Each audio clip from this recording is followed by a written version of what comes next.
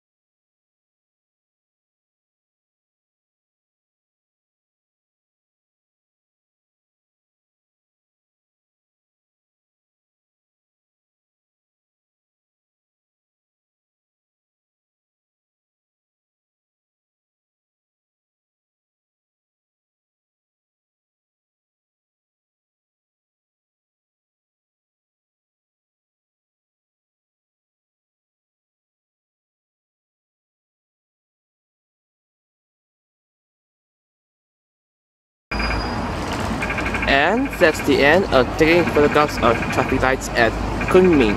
Thank you for watching and goodbye for now.